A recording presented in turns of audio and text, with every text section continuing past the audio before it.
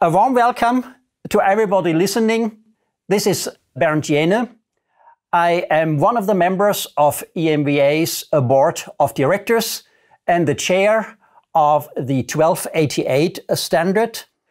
This globally accepted standard is for objective characterization of cameras and recently release 3.1 has been published and with a number of short video messages, we are going to explain you the highlights of this globally valid standard.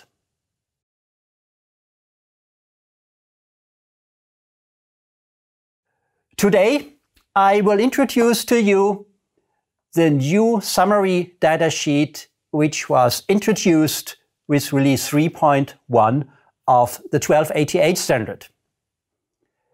On a single page, which is organized for all datasheets in the same way, you can now do a side-by-side comparison of cameras. Let me explain you what you all find uh, on uh, this uh, datasheet. The first column on top of the summary sheet describes the so-called operating point, which gives you all the parameters so that it's easy to repeat the measurements uh, done again.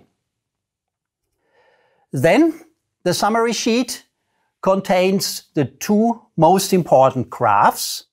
The first curve is the photon transfer curve, which shows you the variance of the temporal noise versus the mean digital gray value.